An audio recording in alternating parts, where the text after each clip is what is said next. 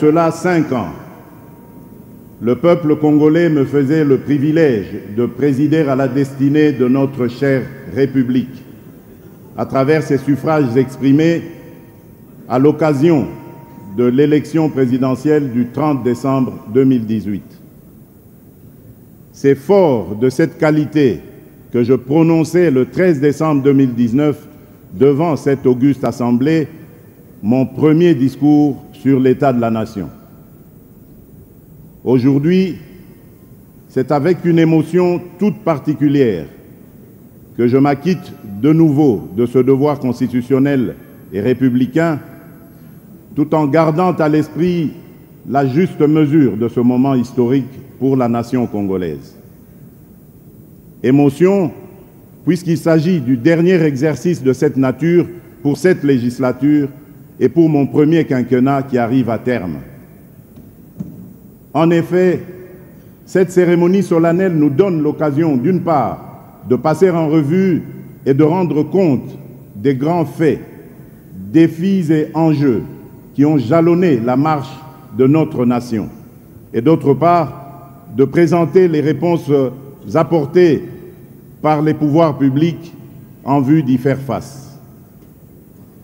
Mes très chers compatriotes, avant d'entrer dans le vif de cette allocution hybride, puisqu'à la fois rétrospective et prospective, permettez-moi de saluer la mémoire de nos compatriotes, filles et fils de notre mère patrie, tombés pour les uns les armes à la main, en s'évertuant à sauvegarder notre intégrité, et pour les autres, fauchés par les affres de la guerre, la violence, les maladies et divers événements naturels. Ces Congolaises et Congolais disparus étaient transcendés tout autant que nous par la même ferveur ainsi que par la même hargne pour la préservation des valeurs incarnées par notre nation et consacrées dans notre hymne national. En mémoire de ces dignes filles et fils, je vous prie de bien vouloir vous lever et d'observer un moment de recueillement.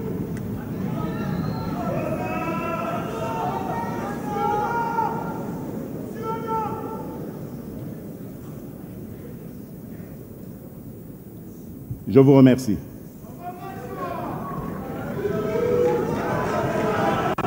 Parmi ces mesures, il convient de signaler l'adoption par le gouvernement dans le cadre de la mise en œuvre de sa politique de défense de l'ordonnance loi numéro 22 019 du 28 juillet 2022 portant programmation militaire 2022-2025 et la loi numéro 23 014 du 22 mai 2023 qui institue la réserve armée de la défense. Cette grande réforme qui manquait à notre pays depuis des décennies est destinée à structurer, mieux à, systématiser et stabiliser la capacité de riposte et de dissuasion de nos forces de défense sur le moyen et le long terme. Elle poursuit également l'ambition d'accélérer l'augmentation des capacités dissuasives de notre appareil de défense.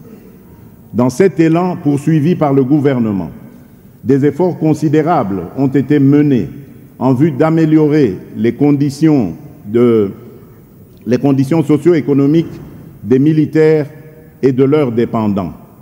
Il s'agit, entre autres, de l'indexation du, du, barème de rémunération des militaires sur un salaire minimum interprofessionnel garanti, le SMIG, constamment adapté au coût réel de la vie, de la finalisation du projet portant mise en place d'une assurance maladie, d'une assurance invalidité permanente, ainsi que d'une assurance obsèque, du lancement du programme de construction des casernements militaires, de la poursuite des audits et contrôles des ressources humaines, financières et logistiques dans toutes les structures de défense pour une gestion efficiente et efficace.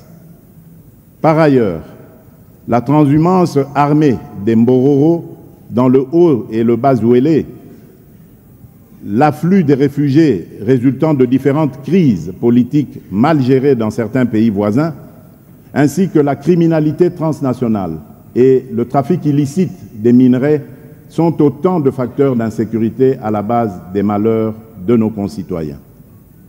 Toujours dans le volet sécuritaire, la province du Maïndombe connaît depuis le mois d'août 2022, dans le territoire de Kwamut précisément, une insécurité née de divergences basées sur les redevances foncières et qui s'est progressivement muée en conflit intercommunautaire, conflit qui a aujourd'hui euh, tendance à s'étendre malheureusement à d'autres entités de l'espace du Grand Bandundu. La province de la Chopo a enregistré elle aussi des cas de tuerie intercommunautaire dont les raisons sont à première vue similaires à celles rencontrées dans le Maïndombe. Comme pour le Maïndombe et la Chopo, il s'observe depuis cinq jours dans le Holomami, plus précisément dans le territoire de Malembankulu, une escalade de violence déplorable et très inquiétante, pouvant potentiellement déboucher sur l'éclosion d'un conflit du même type que celui que j'ai déjà euh, précédemment cité. J'en appelle au pouvoir public de mettre tout en œuvre pour favoriser, avec l'urgence la plus absolue, un retour au calme.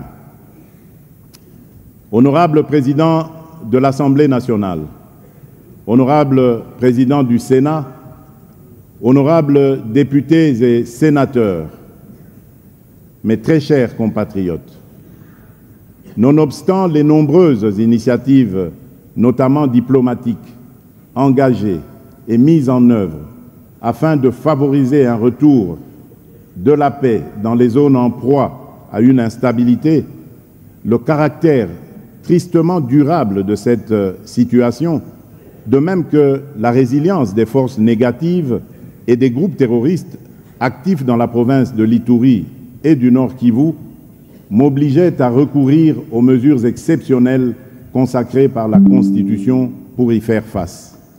C'est donc en activant les dispositions pertinentes des articles 85, 144 et 145 de la Constitution que j'ai, par l'ordonnance numéro 21 015 du 3 mai 2021, proclamé l'état de siège dans les provinces de l'Itourie et du Nord Kivu. Ce régime d'exception a permis l'amélioration de la situation sécuritaire dans certaines zones des deux provinces concernées, notamment la réduction de la fraude minière et douanière transfrontalière qui alimente les conflits, la réduction des tensions intercommunautaires ainsi que la stabilité de l'administration à travers le rétablissement de l'autorité de l'État. De manière spécifique, il est important que le peuple congolais sache que l'état de siège a permis non seulement de démasquer, mais aussi de démanteler les réseaux criminels et mafieux constitués par les ennemis de la République dans le trafic illicite de nos ressources. Au rang des pourvoyeurs de ces réseaux figurent principalement certains États voisins dont le commerce et l'industrie sont manifestement soutenus par les ressources issues du pillage de notre pays.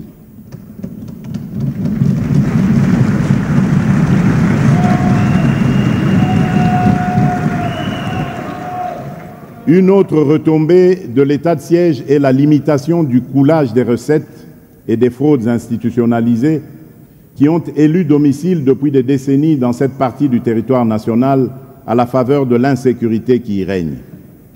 Ainsi, en tenant compte des résultats précités et au regard des conclusions de la table ronde au cours de laquelle une évaluation responsable a été faite, un dispositif transitoire d'assouplissement déjà décidé est en cours d'exécution dans le souci de concilier les impératifs sécuritaires et le respect des libertés publiques de nos concitoyens.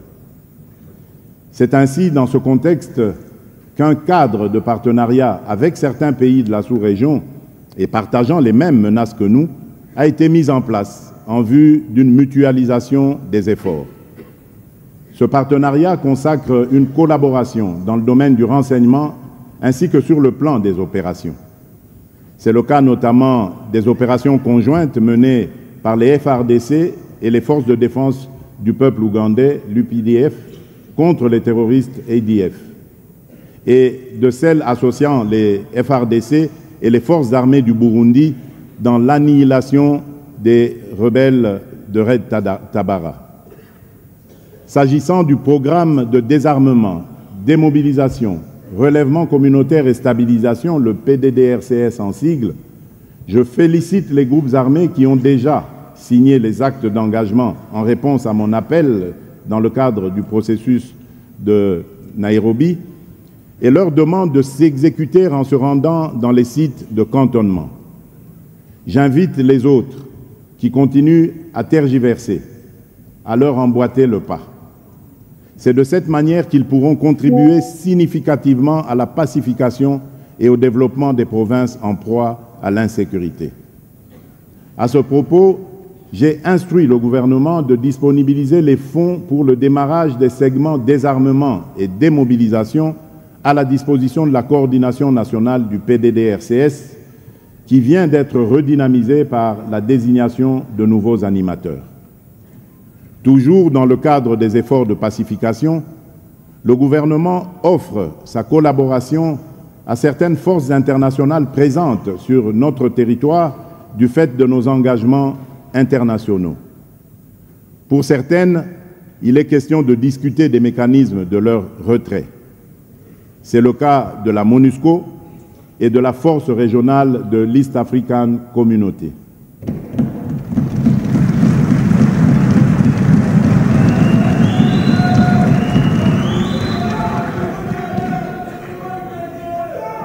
Tandis que, pour d'autres, il s'agit des modalités de leur déploiement.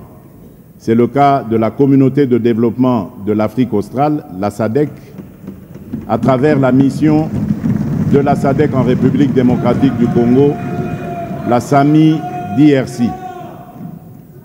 S'agissant particulièrement de la MONUSCO, après plus de deux décennies de présence sur notre territoire, il est temps pour notre pays de prendre pleinement son destin en main et de devenir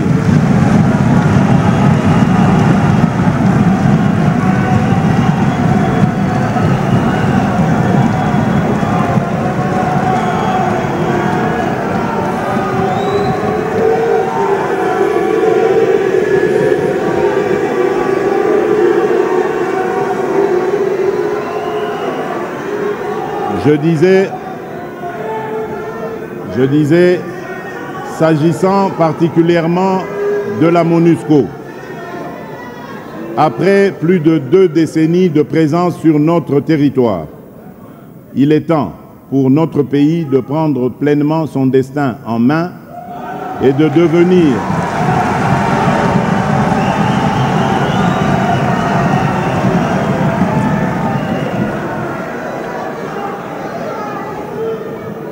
et de devenir le principal acteur de sa propre sécurité et de sa propre stabilité. Ainsi, l'engagement, de retrait échelonné, responsable et durable de la MONUSCO annoncé depuis 2018 et dont le plan de transition a été adopté en 2021 doit être mis en œuvre parallèlement à l'option de retrait des forces internationales présentes. Le gouvernement a relancé un processus de raffermissement des relations bilatérales et multilatérales avec un certain nombre de pays et d'organisations dans la sous-région et bien au-delà pour soutenir les efforts de restructuration de notre appareil de sécurité et de défense. Les partenariats tissés dans ce cadre couvrent notamment les domaines de la diplomatie militaire, de la formation et des opérations sur lesquelles je me suis étalé précédemment. Pour ce qui est de la diplomatie militaire, quasiment muette depuis la fin de la Deuxième République, j'ai décidé de procéder à sa réactivation à travers la création d'une trentaine de postes d'attachés de défense près les missions diplomatiques de notre pays dont une vingtaine va connaître incessamment un début de déploiement.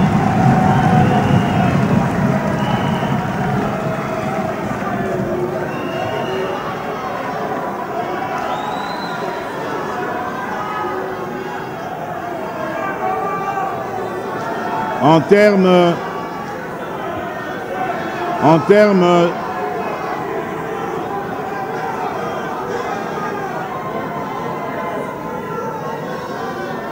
en termes de formation. En termes de formation, l'école de guerre de Kinshasa, rendue opérationnelle il y a trois ans, bénéficie aussi d'un partenariat de qualité et appartient désormais au réseau d'écoles de guerre francophones. Sa montée en puissance contribue, contribue efficacement à la formation d'officiers supérieurs capables d'assumer des fonctions de haut niveau. Honorable président de l'Assemblée nationale, honorable président du Sénat, honorables députés nationaux et sénateurs, mes très chers compatriotes, notre Constitution fait de notre pays, en son article premier, un État de droit. Par l'évocation de cette disposition, je réitère mon attachement, comme celui de nombreux concitoyens ici présents et encore vivants à la protection ainsi qu'à la pleine matérialisation de cet idéal. À ce propos, je saisis cette occasion pour rendre un hommage appuyé à ceux de nos compatriotes qui ont sacrifié leur vie comme martyrs, révélés ou héros dans l'ombre au nom de cet idéal, je rappelle, l'état de droit. En tant que première pierre en tant que première pierre du socle sur lequel sont posés les fondements de notre nation, l'État de droit repose lui-même sur un autre pilier tout aussi premier, placé dans la devise de notre pays, à savoir la justice. C'est dire que la meilleure garantie de l'État de droit est la construction d'un appareil judiciaire efficace, un appareil capable de concrétiser l'idéal de la soumission de tous, sans exception, au droit, suivant le principe de l'égalité de tous devant la loi. En effet, c'est la justice qui élève la nation, dit-on. Fort de ce postulat, dès le début de mon mandat, mon engagement d'améliorer le fonctionnement de l'appareil judiciaire et de veiller à la bonne administration de la justice dans notre pays a été confronté à trois défis majeurs. Le premier défi était celui des moyens humains insuffisants pour assurer une couverture judiciaire satisfaisante du territoire national au regard des effectifs disponibles. Le second défi était celui lié à l'extrême insuffisance de moyens financiers disponibles au vu de la modicité du budget alloué à l'administration de la justice. Le troisième défi était celui relatif aux moyens matériels quasi inexistants, faute d'infrastructures appropriées pour permettre d'une part à nos magistrats de dire le droit dans les bonnes conditions et d'autre part aux condamnés de purger les peines leur infligées dans un cadre pénitentiaire propice et respectueux des droits humains. À ces trois défis majeurs précités s'ajoute la crise morale qui n'a pas épargné ce corps voulu élitiste. Face à ces défis, des actions appropriées s'imposaient. Parmi ces actions, il y a lieu de compter en regard des défis susmentionnés le recrutement sur euh, concours de 5000 nouveaux magistrats civils et militaires, dont le premier groupe nommé et formé sera déployé dans quelques jours. L'amélioration des conditions de vie et de travail des magistrats. Le renforcement de la discipline des magistrats par l'opérationnalisation des chambres provinciales et nationales de discipline. Et enfin, les réformes structurelles pour lutter contre l'impunité. L'objectif ultime poursuivi est l'amélioration de la qualité de l'administration de la justice comme service public, ainsi que la restauration de la confiance entre le justicier et le justiciable. Car il ne suffit pas que le droit soit dit, faut-il encore que nous parvenions tous au constat suivant lequel le droit, alors le bon, a été dit. Avec le recrutement réalisé auquel s'ajoute la réhabilitation des magistrats maladroitement révoqués ou démis de leurs fonctions dans l'inobservance de leurs droits, Le service public de la justice, dont l'offre était depuis plusieurs décennies en deçà de la moyenne universellement admise, c'est-à-dire celle voulant qu'il y ait un magistrat pour 33 000 personnes, s'est vu sensiblement amélioré. Dans le même ordre d'idées, j'ai signé le 15 août dernier une trentaine d'ordonnances d'organisation judiciaire afin d'insuffler une nouvelle énergie dans la gouvernance de la justice, suivant mon engagement de placer l'homme qu'il faut à la place qu'il faut.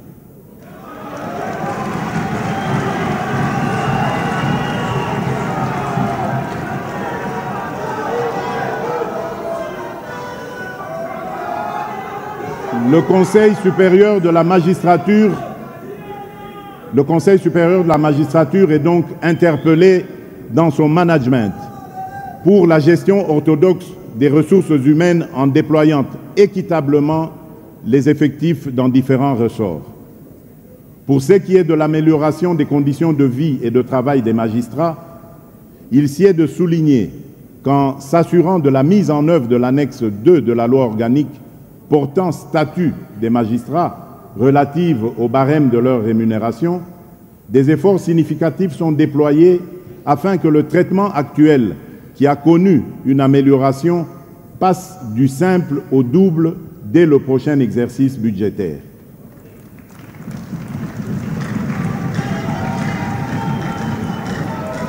Le Parlement, le Parlement devrait, le Parlement devrait s'engager le Parlement devrait s'engager, à l'instar du gouvernement, à doter le pouvoir judiciaire de moyens de son action.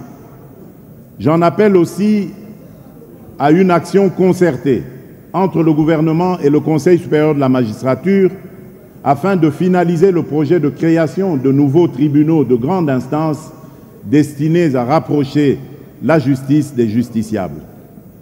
Par ailleurs, en ce qui concerne la discipline des magistrats, il s'y de constater que les actes ou comportements de certains opérateurs judiciaires ont été constamment décriés par la population. Assez souvent, en ma qualité de garant du fonctionnement régulier des pouvoirs publics, j'en ai appelé à la rationalisation du fonctionnement de l'appareil judiciaire. Cette rationalisation a commandé au Conseil supérieur de la magistrature de veiller notamment à ce que désormais ne soit retenu et proposé lors des mises en place que seuls les meilleurs magistrats. Ceux engagés à transformer l'image écornée de la justice et par ricochet à relever le défi de la restauration de la confiance du peuple en la justice. Il va de soi que les brebis galeuses devraient subir des sanctions exemplaires.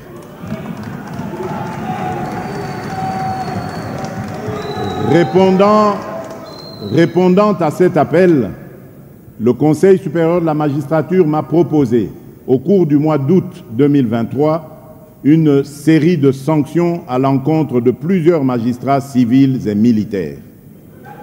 Certains ont été révoqués et d'autres démis de leurs grades et fonctions. Ces décisions ont touché les magistrats de tous rangs confondus, civils et militaires, du siège comme du parquet, de l'ordre judiciaire comme administratif. Cependant, la sanction ne saurait être efficace si les chambres de, discipline peinent encore à fonctionner pleinement faute de moyens mon engagement à l'amélioration de l'administration de la justice se matérialise également à travers le programme de construction d'infrastructures pénitentiaires. En effet, la surpopulation carcérale, la sous-alimentation, sinon la malnutrition de nos compatriotes en détention, la vétusté et l'état de délabrement très avancé de nos établissements pénitentiaires hérités de la colonisation sont une des grandes préoccupations du gouvernement. Dans le souci d'y donner une réponse durable, de nouvelles orientations ont été conçues pour assurer une bonne gestion des fonds destinés à l'alimentation. Il s'agit notamment de la détermination des autorités qui interviennent dans la chaîne de livraison et de réception des vivres, des non-vivres, ainsi que des produits pharmaceutiques dans les différentes structures pénitentiaires. À titre illustratif, à la prison centrale de Makala, 11 pavillons sont en cours de réhabilitation. 11 autres nouvelles prisons seront construites dans les tout prochains jours, le dossier y relatif étant déjà bouclé. D'une capacité d'au moins 2500 détenus, ces établissements pénitentiaires seront érigés dans les chefs-lieux d'anciennes provinces, en majorité, sur financement du gouvernement central, pendant que deux d'entre eux le seront sur base d'un contrat de partenariat public-privé suivant le modèle type de prison moderne comprenant des espaces destinés à l'apprentissage des métiers et aux travaux des champs. C'est le cas des prisons des provinces du Nord Kivu et du Sud Kivu. À ce jour, deux prisons sont en cours de réalisation, à savoir une nouvelle prison centrale à Maluku et à Sake au Nord Kivu. Dans le chapitre de la gestion des contentieux en rapport à notre pays, je me félicite des efforts déployés par le gouvernement à travers euh, le ministère de la Justice, avec le concours de mon cabinet, pour assurer un suivi satisfaisant de certains dossiers importants. Au titre des retombées positives, il y a lieu de citer l'arrêt de la Cour internationale de justice relatif à la condamnation de l'Ouganda au paiement échelonné sur cinq ans de 325 millions de dollars américains au profit de la République démocratique du Congo pour les activités armées du dit État à Kisangani en l'an 2000. Ces mêmes efforts ont permis à l'État congolais de récupérer en 2022 des actifs miniers et pétroliers et au Trésor public d'encaisser des fonds considérables le tout pour une valeur globale estimée en milliards de dollars américains dans le cadre de négociations responsables entamées entre les groupes Ventura, Glencore et Tenke Fungurume Mining. Au chapitre de la lutte contre l'impunité, il convient de signaler également, du point de vue international, la signature d'un mémorandum d'entente avec le procureur de la Cour pénale internationale.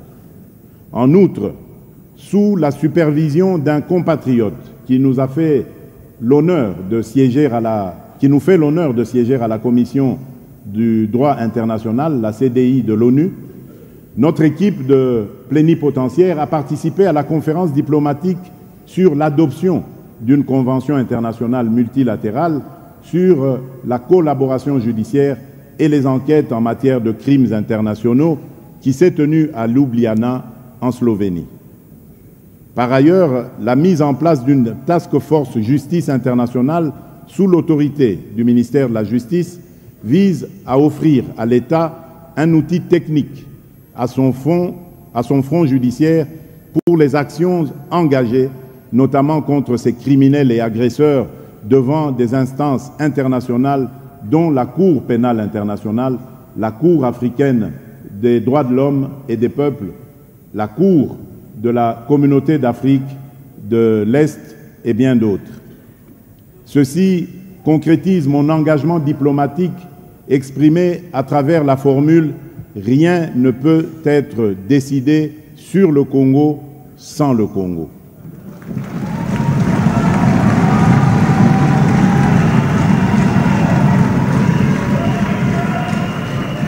C'est dans cette euh, c'est dans cette...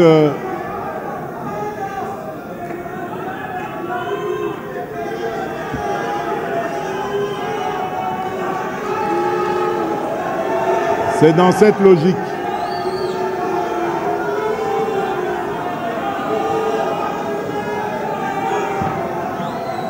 Je disais, je disais, je disais, je disais, ceci concrétise mon engagement diplomatique exprimé à travers la formule Rien ne peut être décidé sur le Congo sans le Congo.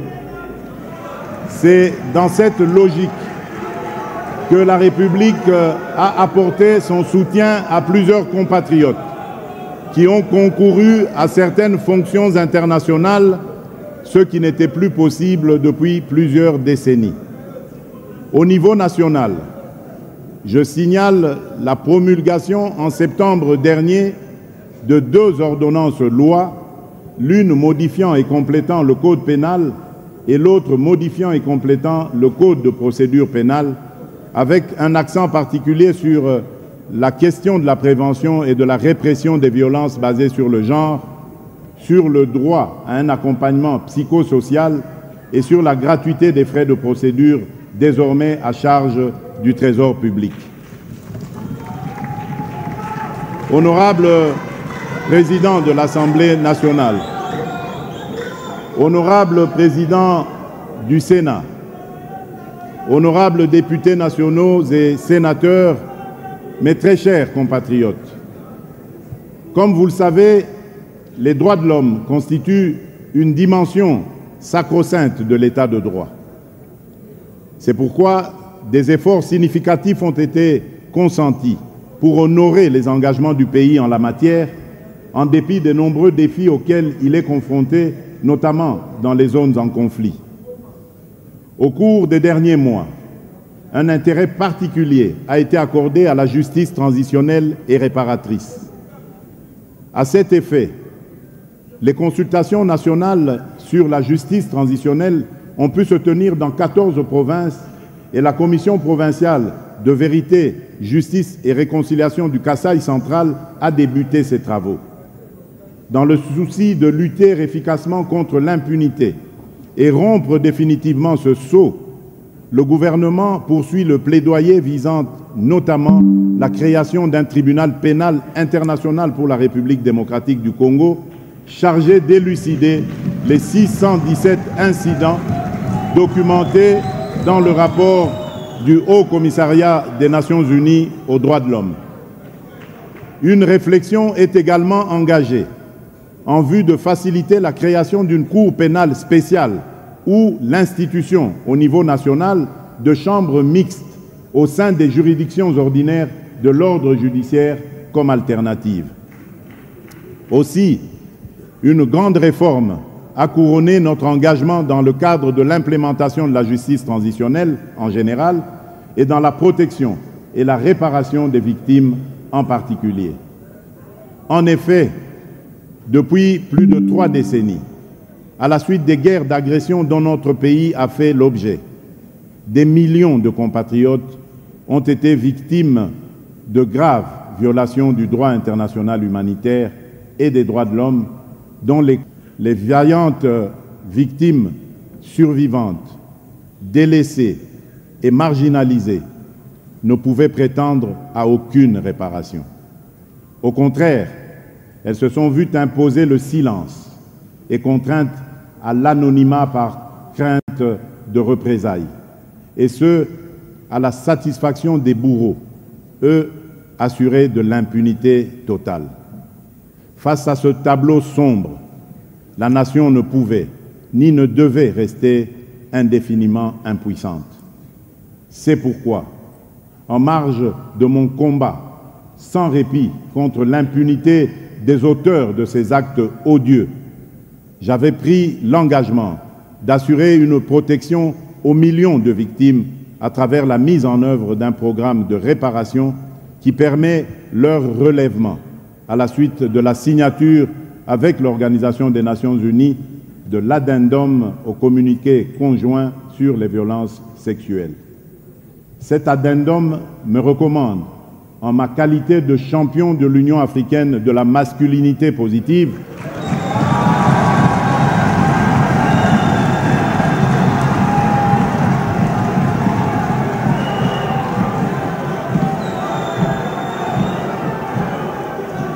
cet addendum me recommande, en ma qualité de champion de l'Union africaine pour euh, de la masculinité positive, la mise en place d'un dispositif euh, juridique et institutionnel pour la réparation au profit des victimes. Pour donner effet à, euh, à cet engagement, j'ai promulgué la loi numéro 22-065 du 26 décembre 2022 portant principes fondamentaux relatifs à la protection et à la réparation des victimes de violences sexuelles liées au conflit et des victimes, de crimes contre la paix et la sécurité de l'humanité. Il s'agit d'un cadre normatif historique dédié à la protection des victimes, dont le processus de mise en place a connu l'accompagnement d'une infatigable compatriote, porteuse de cette cause à la suite des recommandations issues de la table ronde qu'elle a organisée. Cette compatriote, je la cite, c'est la très distinguée Première Dame, Madame Denise Niakeru.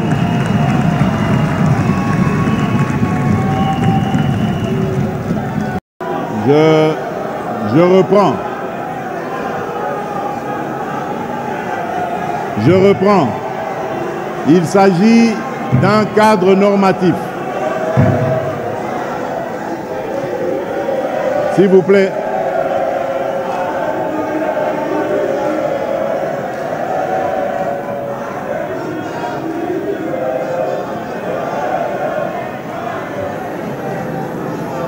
Je reprends. Il s'agit d'un cadre normatif historique dédié à la protection des victimes, dont le processus de mise en place a connu l'accompagnement d'une infatigable compatriote porteuse de cette cause à la suite des recommandations issues de la table ronde qu'elle a organisée. J'ai cité la distinguée première dame, Madame Denise Nyakeru Tshisekedi. Dans la même perspective, dans la même perspective, un fonds national de réparation pour les victimes, le FONAREV en sigle, a été créé et placé sous la tutelle du ministère des Droits humains. Il s'agit bien d'une réponse institutionnelle du gouvernement à ce fléau. Ce fonds, dont j'ai signé l'ordonnance portant nomination de ses animateurs, est déjà opérationnel. Pour compléter ce dispositif institutionnel, j'ai récemment nommé les 27 membres de la commission interinstitutionnelle d'aide aux victimes et d'appui aux réformes CIA-VAR.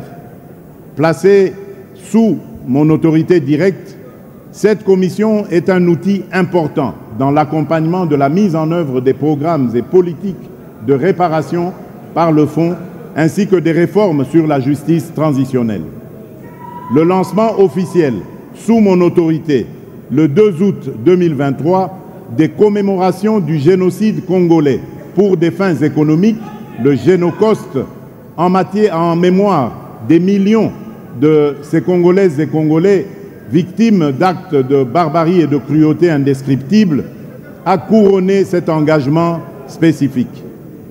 Pour être plus complet dans la protection et la promotion des droits des groupes vulnérables, j'ai promulgué la loi organique portant protection et promotion des personnes vivantes avec handicap et autres personnes vulnérables, ainsi que la loi portant protection et promotion des droits des peuples autochtones.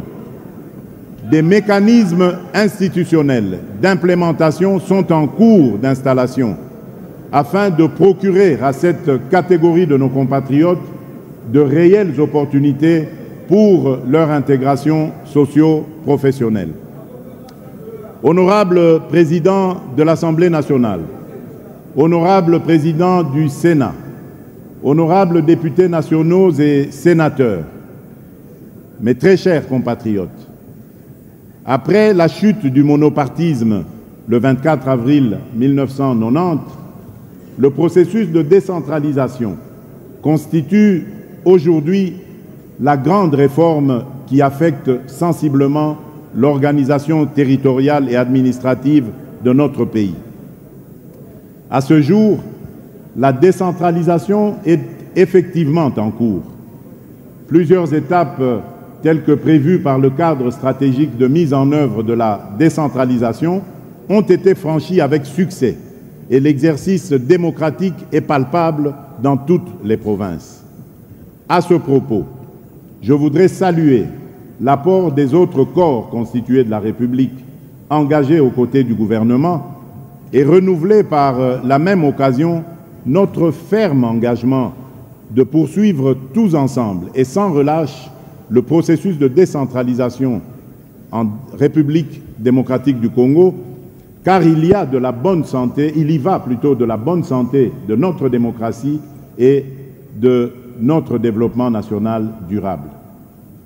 En effet, l'effort politique est, perceptible, d'une part, à travers la remise en place du ministère de la décentralisation et des réformes institutionnelles, et d'autre part, à travers l'engagement d'organiser les élections municipales et locales durant l'actuel cycle électoral. Pour mieux concourir à sa mise en œuvre, ma stratégie est d'encourager la conclusion d'un partenariat entre le gouvernement et les partenaires techniques et financiers disponibles.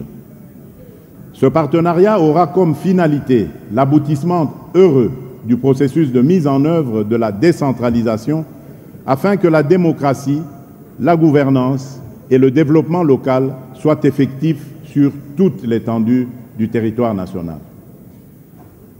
Honorable président de l'Assemblée nationale, honorable président du Sénat, honorables députés nationaux et sénateurs, mes très chers compatriotes, lors de mon investiture en janvier 2019, j'avais promis de faire de la presse libre et responsable le véritable quatrième pouvoir de notre pays. L'état des lieux de l'exercice de la liberté de presse établi à mon investiture révélait une grille de quatre défis majeurs auxquels s'affrontait mon engagement. Ces défis étaient les suivants. La loi numéro 22-002 du 22 juin 1996 présentait plusieurs faiblesses, essentiellement tirées de son caractère exagérément répressif et incomplet, plus liberticide et inadapté. L'inefficacité des instances de régulation et d'autorégulation à faire respecter la déontologie et l'éthique professionnelle, l'absence d'un vrai statut de professionnel des médias capable de protéger la profession de l'intrusion de personnes sans qualité et la pénalisation des délits de presse. À ce jour, la situation de la presse se porte de loin mieux qu'hier et je m'en rends compte personnellement lorsque chaque année, avec les journalistes, je participe à la célébration de la journée internationale consacrée à la liberté de la presse. En l'espace de quatre ans, nous avons gagné 30 places dans le baromètre mondial de la liberté de la presse de Reporters sans frontières.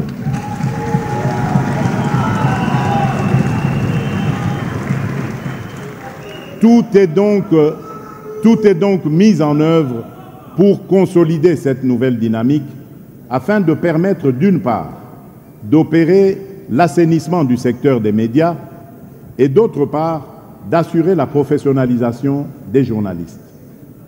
Mon action politique dans ce domaine s'est essentiellement orientée vers deux objectifs, à savoir la réforme du cadre normatif et institutionnel de l'exercice de la liberté de presse ainsi que la sécurité du journaliste. Concernant le cadre normatif, la promulgation de l'ordonnance loi numéro 23 009 du 13 mars 2023 fixant les modalités d'exercice de la liberté de presse, la liberté d'information et d'émission par la radio et la télévision, la presse écrite ou tout autre moyen de communication en République démocratique du Congo s'inscrit dans la perspective de la mise en œuvre de la majorité des 80 recommandations formulées lors des États généraux de la communication et médias organisés en janvier